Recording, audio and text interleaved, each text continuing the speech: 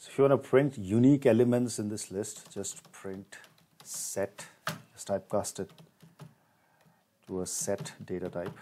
Just print this. Huh?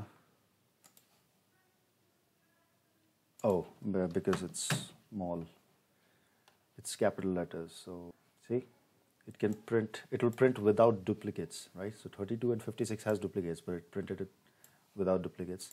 And if you want to change this into a list, that can be done as well. Just typecast this to set demo list. Right?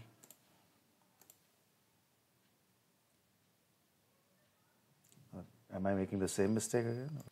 Oh, just, yeah, so, sorry, I made the same mistake again, so. So